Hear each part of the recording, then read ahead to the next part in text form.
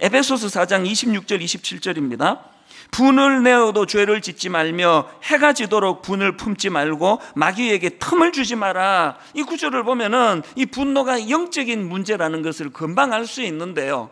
근데 여기서 중요한 게 뭐냐? 우리말에는 분을 내어도 해, 어, 죄를 짓지 말며 해가 지도록 그 다음에 분을 품지 말고 이게 그냥 다 같은 분, 분으로 돼 있는데요. 헬라어로는 이 앞에 분을 내어도와 뒤에 분을 품지 말고 할 때 단어가 각각 다른 단어라는 겁니다. 그리고 중요한 거는 뭐냐?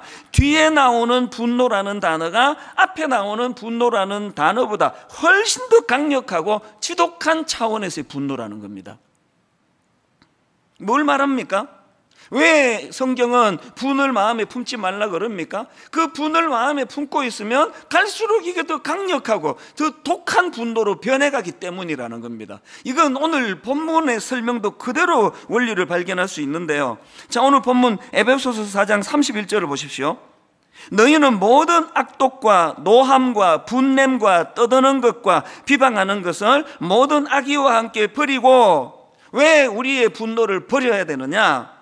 맨 앞에 나오는 이 악독이라는 단어는 헬라어로 πικρία라는 단어인데요. 지나간 것들에 대한 원한을 품고 있는 강팍한 마음이에요.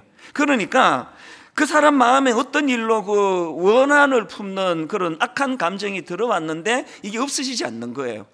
이게 방치가 되니까 이것이 어디로 흐르느냐? 노함과 분냄으로 흐르는데요. 여기 그 다음 나오는 노함이라는 단어는 헬라로 디모스라는 단어인데 이 단어는 일시적인 분노를 이야기합니다.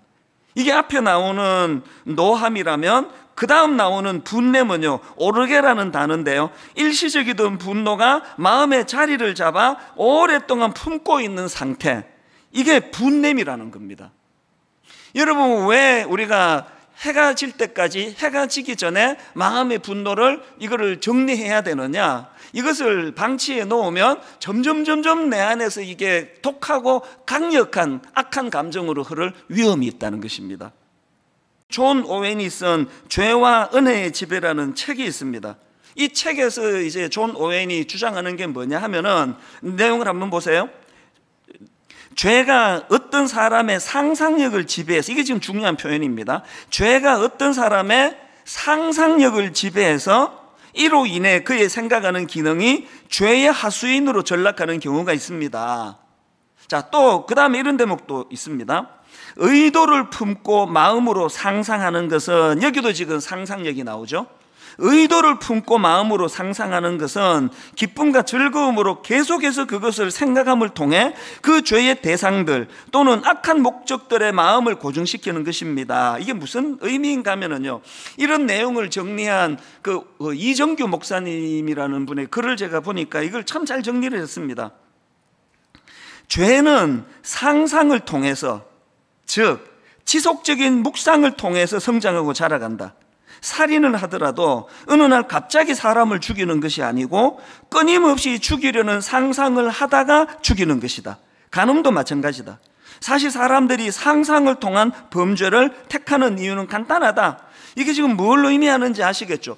죄가 우리를 지배하는데 상상력을 통해 그래서 아무런 감정이 없다가 갑자기 그냥 불쑥 생각이 나서 누구를 죽이는 게 아니고요.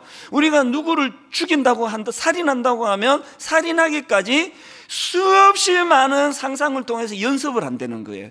이렇게, 저렇게, 이렇게 노려야 되나? 마음에서 끊임없는 그런 상상력이 그 살인에 대한 상상력이 작동이 되다가 행동으로 나타나는 게 살인이라는 겁니다. 성적인 죄도 마찬가지라는 거 아닙니까? 아무 생각 없다가 그냥 무슨 막 그냥 동물처럼 짐승처럼 그렇게 하는 게 아니라 수없이 그 이 행동이 나오기 전에 머릿속으로 끊임없는 반복되는 연습이 있다는 거예요. 이렇게 할까? 저렇게 다가갈까? 이거를 노릴까? 그 많은 악한 상상력이 마음속에서 맴돌다가 그것이 때가 참에 표출되는 게 행동으로 나타나는 죄라는 겁니다. 분노도 마찬가지예요. 해가 질 때까지 분노 문제를 해결해야 된다 우리에게 말씀하실 때는 그 품으면 안 되는 이유는 그것이 우리 안에서 계속 사단의 공작에 의해서 이 점점 더 울분과 분노가 강력해져 가는 그런 의미에서는 자꾸 이거를 잘 이렇게 그 털어내는 성격이 참 좋은 성격이에요. 좀 소심하고 내성적인 분들 중에는 다 그런 건 아니지만 이거를 잘 못 털기 때문에 마음에 오래 괴로워하는 분들이 계시다면요. 그런 어떤 기질과 성격을 뛰어넘어서 우리는 성경이 요구하기 때문에 하나님 내 어떤 기질이나 어떤 성격을 뛰어넘어서 아버지 오래 어떤 분노가 내 안에 자리 잡지 못하도록 성령님 강권적으로 역사하여 주시옵소서. 우리 모두가 공통적으로 하나님께 드려야 될 기도라고 생각합니다. 왜냐하니까 야고보스 1장 14절입니다. 오직 각 사람이 시험을 받는 것은 자기 욕심에 끌려 미혹됨이니 욕심이 잉태한 즉 죄를 낳고 죄가 장성한 즉 사망을 낳느니라. 이 나쁜 차원에서의 분노라는 감정도 똑같다는 겁니다. 그래서 여러분 마음의 분노가 찾아올 때 누군가가 내게 아픔을 주고 상처를 줬을 때 우리는 하나님께 기도해야 돼. 이 분노가 내 마음에 오래 품어지지 않도록 품어지지 않고 이것들이 해소가 될 수 있도록 은혜를 구해야 된다.